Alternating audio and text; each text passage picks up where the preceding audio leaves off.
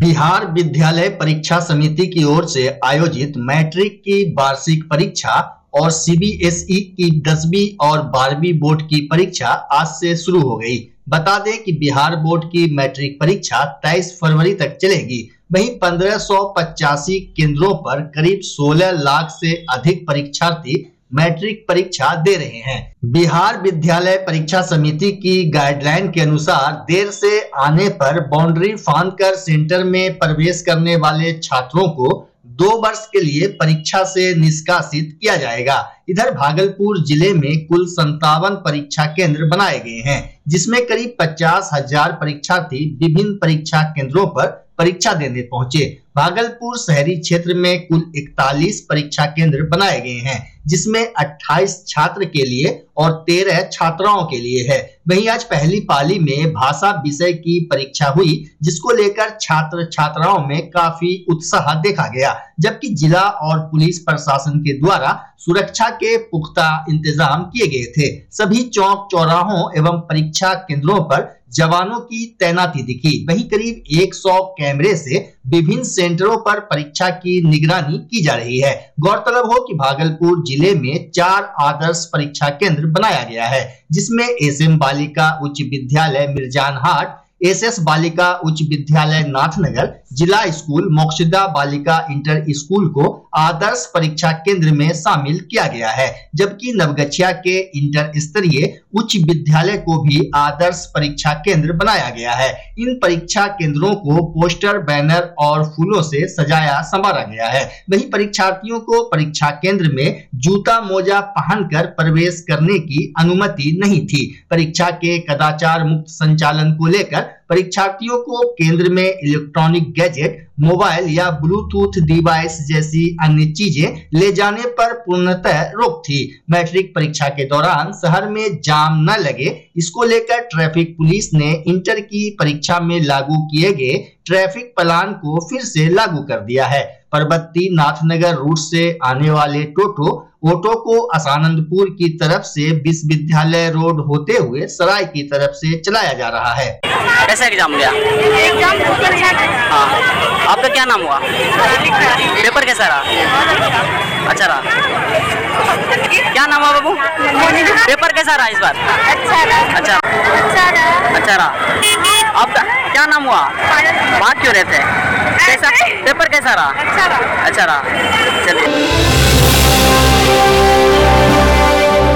बिहार में बीमा भारती के पति और बेटे को लेकर राजनीति तेज है। अब जदयू के विधायक गोपाल मंडल ने भी बीमा भारती को लेकर बड़ी बात कही है। उन्होंने कहा कि बीमा भारती को लगता है कि उनके बेटा और पति की गिरफ्तारी नीतीश कुमार करवाए हैं। लेकिन ऐसा बात नहीं है। उन्होंने कहा कि बीमा भारती के बेटा और पति के नाम हथियार का लाइसेंस नहीं था, इसलिए उसे गिरफ़्तार किया गया। इधर पूरे मामले पर बीमा भारती ने कहा कि उन पर दबाव बनाने के लिए ऐसा किया गया है। आगे चल रहे थे हमारे हस्बैंड हमारे बच्चा सब पीछे पीछे आ रहे थे। हमको जल्दी से मीटिंग में पकड़ना था।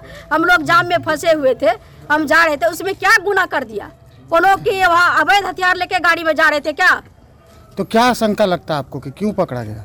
क्यों पकड़ा गया? तो अब सरकार बताएँगे क्यों पकड़ा गया है। दबाव दिलवा रहा है सरकार। उसका है तो उसका मर्ज़ी है। कुछ भी कर सकता है। किसी का बात तो नहीं तो सुना। कितना मंत्री को हम फ़ोन किए सभी को फ़ोन किए हैं या एसपी को फ़ोन किए हैं डीएसपी से बात हुआ है आईजी से बात हुआ है ऐसा कोई भी नहीं कि ग्रामीण एसपी से बात हुआ हमारा। टेस्ट उसके लिए तो नहीं हो रहा है इस तरह से दबाव बनाना कोई कहाँ से अन्याय है?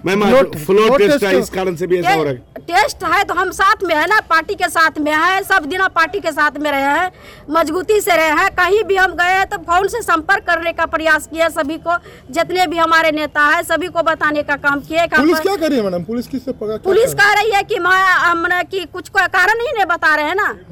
कोई कारण ही नहीं बता रहे हैं। ऐसा ही बैठा करके गाड़ी में लेकर आ गया है। इस तरह से कर रहा है। पुलिस का मनमानी हो रहा है। आगे आगे आ रहे थे हम दो गाड़ी पीछे से थे। हाँ। उसमें लाइसेंस एक बेटी का था एक मेरा थी और दो गो मैडम का। हाँ।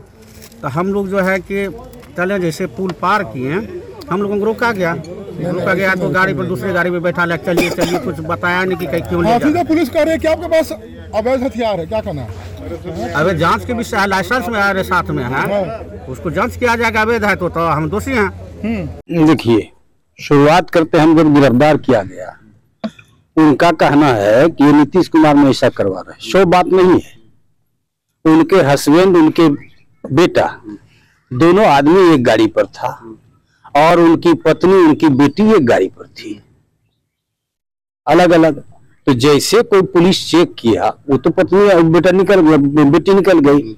अब बेटा के नाम से लाइसेंस नहीं था पति के नाम से लाइसेंस नहीं था इस पर पुलिस ने पकड़ा। पकड़ के लौटा के ले गया हाजत में बंद किया। वो तो चलना अवैध है।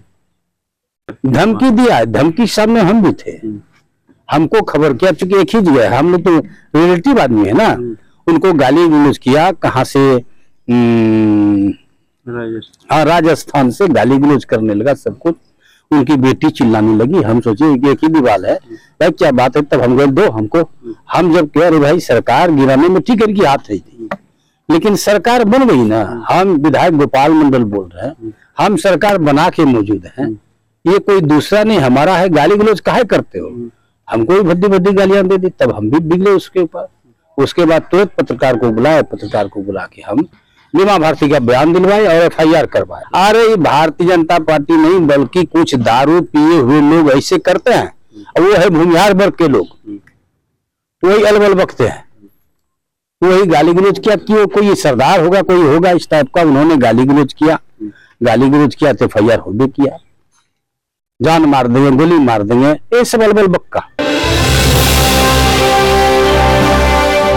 भागलपुर, मधुसूदनपुर थाना क्षेत्र के मनसर गाँव में घरेलू विवाद को लेकर जमकर मारपीट की घटना सामने आई है। घटना में दो लोग गंभीर रूप से जख्मी हैं। घटना का कारण पारिवारिक विवाद बताया जा रहा है। घटना की सूचना मिलते ही मधुसूदनपुर थानेदार सफदर अली दल बल के साथ मौके पर पहुंचकर मामले की जानकारी ली। प्राप्त जानकारी के मुताबिक दूसरी पत्नी के बेटे ने पिता को एक बेटे को ज़्यादा मानने की बात पर मारपीट किया। इतना ही नहीं, सौतेले भाई को भी मारकर लहूलुहान कर दिया। घटना को लेकर जख्मी पिता छोटे लाल गोस्वामी ने बताया कि दूध लेने को लेकर छोटे बेटे रोहित ने उन्हें और उनके बेटे के साथ मारपीट की है। वहीं नीतीश गोस्वामी ने कहा कि घर में पूजा था, सौतेले भाई रोहित ने पिता और उनके साथ मारपीट कर जख्मी कर दिया है। मारपीट की घटना में रोहित ने अपने हाथ में लोहे का फाइटर पहन लिया था और मुक्के से मारकर हमें जख्मी कर दिया।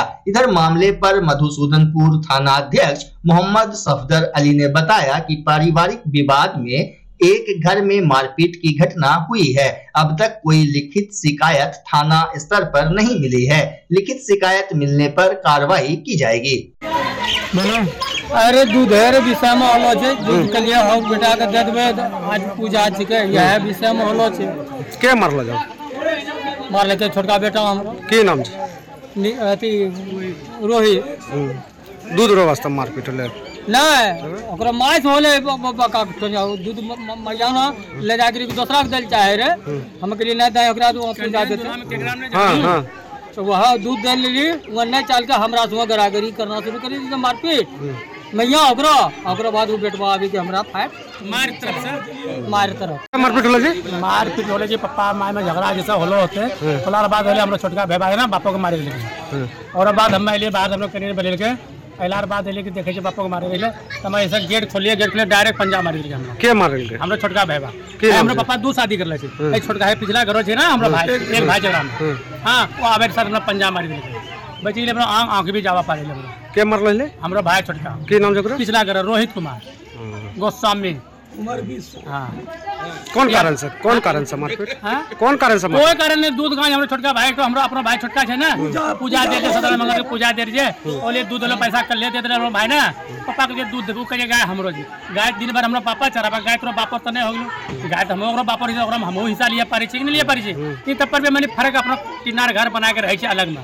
तब पर भी कोई दिक्कत नहीं अपना अपना सब कुछ बने लिए। Rinku LED bulb. एक बार लाओ और चलाते ही जाओ। हमारे एलईडी बल्ब्स है क्वालिटी में नंबर वन और एनर्जी एफिशिएंट, जो रखे एनवायरनमेंट और आपके बिजली के बिल दोनों का ख्याल। रिंकू एलईडी बल्ब के साथ एनर्जी बचाओ और बिल घटाओ। ये है पावर सेविंग लाइट, जो चले लंबे समय तक और रखे आपके घर को रोशन। हमारे यहाँ एलईडी लाइट्स मिलते हैं एक व्यापक रेंज में, जो आपकी हर ज़रूरत को पूरा करेगी। लेकिन यही नहीं, हमारे एलईडी लाइट सिर्फ़ चमकदार नहीं, बल्कि एनवायरमेंट फ्रेंडली भी है। तो आज ही लाओ रिंकू एलईडी बल्ब और पाओ एक साल की वारंटी का भरोसा। रिंकू एलईडी बल्ब्स, नई जनरेशन के स्मार्ट बल्ब आज ही संपर्क करें eight six five one zero six three seven eight six या मेल करें Rinku LED bulb at the rate gmail dot com हमारा पता Asananpur, Bhagalpur, Bihar eight one two double zero two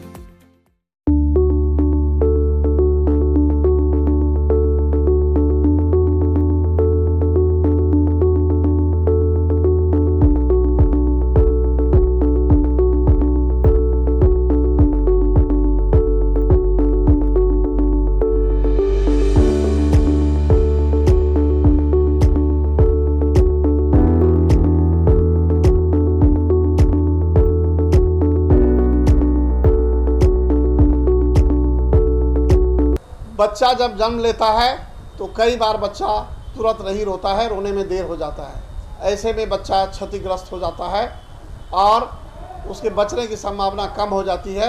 और यदि बचा तो भविष्य में उसमें विकलांगता की समस्या आती है, जिसे सीपी कहते हैं, जिसका कोई माकूल इलाज नहीं है और ज़िंदगी भर बच्चा विकलांगता से जूझ सकता है। ऐसे में पूरे संसार में कूलिंग थेरेपी का सहारा लिया जाता है। जन्म से ठीक छः घंटा के अंदर यदि उसको कूलिंग थेरेपी दिया जाए तो उससे उसका सीपी की समस्या कम होती है और बचने की भी संभावना बढ़ती है।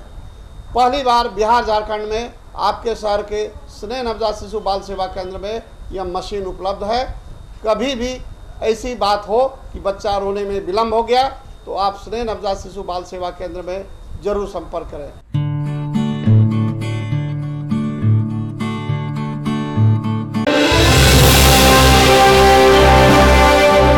दो दिन पूर्व भागलपुर नाथनगर इलाके में हुई हल्की बारिश के बाद नगर निगम के वार्ड संख्या चार और रामपुर खुर्द समेत रेलवे पुल अंडरपास के रास्ते में भीषण जल जमाव हो गया है। रामपुर खुर्द पंचायत के महमदपुर के समीप बीच सड़क पर गंदा पानी जमा है। वहीं राहगीरों को नाले के पानी में घुसकर आना जाना पड़ रहा है। रेलवे अंडरपास में जल जमाव से, खासकर रामपुर खुर्द के पुरानी सराय क्षेत्र स्थित कब्रिस्तान पहुँचने में लोगों को काफ़ी परेशानी का सामना करना पड़ रहा है। बता दें कि इसी रास्ते से लोग जनाजा और सब यात्रा भी लेकर जाते हैं। करीब 25 वर्षों से यहाँ के स्थानीय लोग इसका दंश झेल रहे हैं। कई जनप्रतिनिधियों ने इसके स्थायी समाधान का भरोसा चुनाव के समय दिया लेकिन कोई समाधान आज तक नहीं निकला। बरसात पानी जमलो छै एकरा में की दिक्कत होइ छै? लाली जाम छै। तो आबे जाए में आबै जाम छै कहियो लाली पूरे यहाँ जाम छै भर की नाम छै तोरो? दिनेश पुलिस जिला नवगछिया के रंगरा ओपी थाना क्षेत्र अंतर्गत मुरली गाँव में पेट्रोल छिड़क कर जान मारने के मामले में विद्यानंद सिंह और उसके तीन पोतियों को ज़िंदा जलाने के प्रयास मामले में रंगरा ओपी पुलिस ने दो आरोपियों को गिरफ़्तार किया है। गिरफ़्तार आरोपितों में रंगरा ओपी के मुरली का प्रभाकर कुमार, उर्फ़ निर्मल कुमार और सोनू कुमार है। वहीं एसडीपीओ ओम प्रकाश ने प्रेस वार्ता कर विस्तृत जानकारी दी। उन्होंने बताया कि एक फरवरी की देर रात मुरली गाँव में एक महादलित परिवार के चार सदस्यों को पेट्रोल छिड़क कर ज़िंदा जलाने का प्रयास किया था। एसडीपीओ ओम प्रकाश ने बताया कि नवगछिया एसपी पूरन झा के नेतृत्व में एक टीम गठित की गई थी और टीम ने तकनीकी अनुसंधान के साथ साथ पीड़ित व्यक्तियों से बयान लेने के बाद दो युवकों को हिरासत में लिया। उन्होंने बताया कि जल्द ही घटना में शामिल अन्य लोगों को भी गिरफ़्तार कर जेल भेजा जाएगा। ये रंगरा है उसके अंतर्गत मुरली गाँव है। इसमें एक दो की रात्रि में करीब दो ढाई बजे के लगभग फैमिली जो विद्यानंद सिंह है, उनके साथ तीन उनकी पोती सोई हुई थी। रात में व्यक्ति के द्वारा आके उसमें पेट्रोल छिड़क के वो बेड पे आग लगा दिया गया, जिसके कारण वो तीनों जो बच्ची थी जिनकी उम्र काफ़ी कम थी। वो बहुत हद तक जल गई और विद्या सिंह भी घायल हो गए। इसमें उस समय वो लोग इलाज के लिए यहाँ से रेफर कर दिया गया। उन लोग बोकारो, रांची और फिर उनका इलाजरत है। और इसमें एसपी सर के द्वारा टीम का गठन किया गया और उसमें एसपी सर के द्वारा ये कांड क्योंकि उनके परिजन के द्वारा शुरू में अज्ञात से एफ़ दर्ज कराया गया था। तो इशू था हमारे जिला के लिए। और इसमें एसएचओ और उनकी टीम के द्वारा तकनीकी सहयोग से इसमें कांड में संलिप्त व्यक्ति जो विद्या सिंह का भतीजा था, उसकी जानकारी हुई कि उसने ही पेट्रोल छिड़ककर अपने साथी के साथ आग लगाया, जिसके कारण ये घटना घटित हुआ। और उसमें कांड में जो गिरफ़्तार किया गया, निर्मल कुमार जो भतीजा है और उनका साथी जो उसका नाम सोनू शर्मा है। और दोनों को गिरफ़्तार किया और दोनों ने कामयाब की संलिप्तता स्वीकार की। और विद्या सिंह की जो पोती है, उन लोग के द्वारा भी निर्मल को घटना के समय देखे जाने की बात बताई गई है। थाना प्रभारी के द्वारा वो जख्मी का भी बयान लिया गया है, जिसमें उन्होंने ये एक्यूज के बारे में घटना कारित करने की बात बताई है। इसमें दो और जो अन्य लोगों की बात विद्या सिंह के द्वारा बताया है, उसके बारे में हम लोग अनुसंधान कर रहे हैं तो जल्दी गिरफ्तारी कर दी जाएगी। घटना क्यों क्या घटना का कारण ये है बताया गया जैसे विद्या सिंह के द्वारा कि ये मैं मादक पदार्थ का सेवन करता था और जिसके कारण विद्या सिंह के द्वारा काफ़ी विरोध किया गया था और एक बार इसको मैंने मारपीट भी किया गया था क्योंकि ये गार्जियन था और उसी ये रंजिश में रहता था बीच बीच में हल्ला करता रहता था और उसी नाराज़गी में इसने ये पुलवामा हमले में शहीद जवानों को याद करते हुए भागलपुर में सैकड़ों युवाओं ने बुधवार की शाम कैंडल मार्च निकाला। कैंडल मार्च सैंडिस कंपाउंड से लेकर भगत सिंह चौक तक निकाली गई। इस दौरान भारत माता की प्रतिमा पर पुष्प अर्पित कर शहीद जवानों को श्रद्धांजलि दी गई। साथ ही भारत माता की जय वीर सपूत अमर रहे के नारे भी लगाए गए युवाओं ने कहा कि इस दिन हम लोगों को वैलेंटाइन डे नहीं मनाकर ब्लैक डे मनाना चाहिए। मौके पर विपुल दुबे, चुलबुल, राजा बबलू, मनोरंजन, नितेश, दीपक, छोटू, निखिल समेत कई युवा मौजूद थे। शहादत दिवस के इस मौके पर सैंडिस कंपाउंड के गेट के पास से घुमाते हुए, मनाली चौक होते हुए बड़े भारत माता चौक, बड़ी खंजरपुर, बरगद गाछ के पास। यहाँ पे उसको स्थगित किया गया उस रैली को। और आज का जो रैली है, उन सारे वीर सपूतों को श्रद्धांजलि दिया गया है, जो कि पुलवामा अटैक में वीर गति को प्राप्ति ले लिए, जो देश के पर निशावर हो गए। और आज का ये रैली उन सारे युवाओं के लिए एक संदेश भी है, जो आज के दिन वैलेंटाइन डे मना रहे हैं। भाई, हमारा वैलेंटाइन वैलेंटाइन कुछ नहीं होता है। सबसे पहला है देश, उसके बाद है कुछ तो हमारा देश ही सर्व सर्व सर्वोपरि है और हम देश की सेवा के लिए अपने आप को निछावर कर सकते हैं। और आज का रैली इसी संदेश को देने के लिए आज का दिन जो है हम लोग का दुखद का दिन है और जो भी वैलेंटाइन डे मनाता है आज को वैलेंटाइन डे को बाइकआउट किया जाए और ये ब्लैक डे को हर एक साल ब्लैक डे मनाया जाए। कैंडल सेंडिस कंपाउंड से कैंडल निकाले थे और मनाली पे के भारत माता चौक पे आके भारत माता के पास स्थगित किए। कितने संख्या में लोग थे? दो से से तीन सौ संख्या में थे लड़का एवं लड़कियाँ। क्या कहेंगे इस मौके पर? इस मौके पे यही कहेंगे सब सरस्वती पूजा मनाते हैं लेकिन हम एक पुलगामा में शहीद हुए जवानों का श्रद्धांजलि देने के लिए और हमारे देश के जितने भी युवा हैं उनको जागरूक करने के लिए आज हम शहीद दिवस मनाएँ।